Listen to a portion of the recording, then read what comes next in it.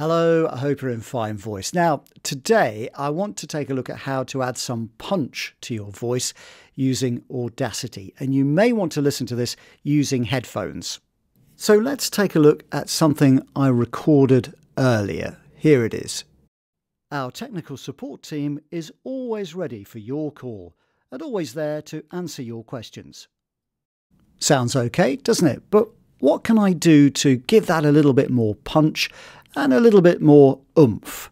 Let's see what happens if I add some EQ. Now, EQ is equalization, and it means just really adding in a little bit of bass or a little bit of treble. You go to effects, and then you go to equalization, which is here.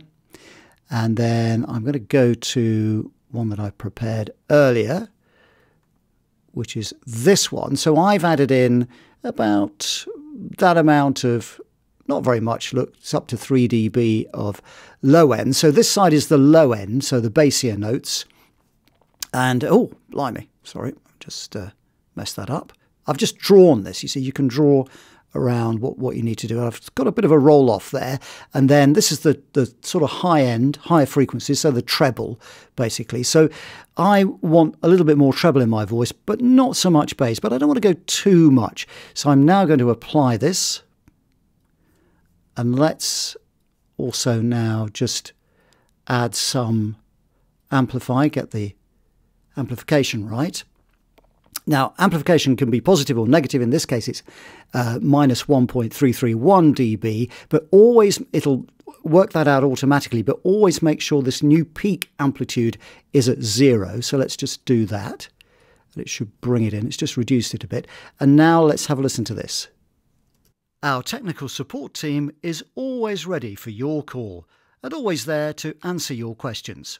So I've added a little bit of uh, bass into that and a little bit of treble. It's sounding a little bit fuller, but now what I want to do is go on to stage two, which is to add some compression. All right, so same process. We go to effects, and then let's come down to the compressor this time. And I stick to the defaults. I think that's the best way to do it. No faffing around, because otherwise your, your voice will sound overcompressed and you'll sound like you're a radio DJ or voiceover woman or voiceover man, which you don't want. So stick with these defaults. Always check it's minus 12 on there on the threshold, minus 40, 2 to 1 ratio, 0.2 attack, and 1 second release. Just press OK, and that should do it.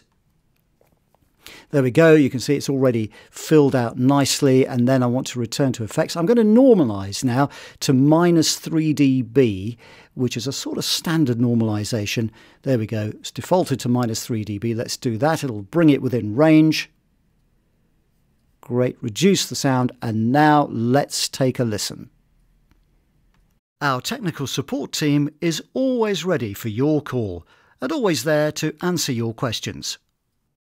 The trick when adding processing to your voiceover, uh, whatever software you're using, is to be subtle. A little goes a long, long way in voiceovers, so always remember that.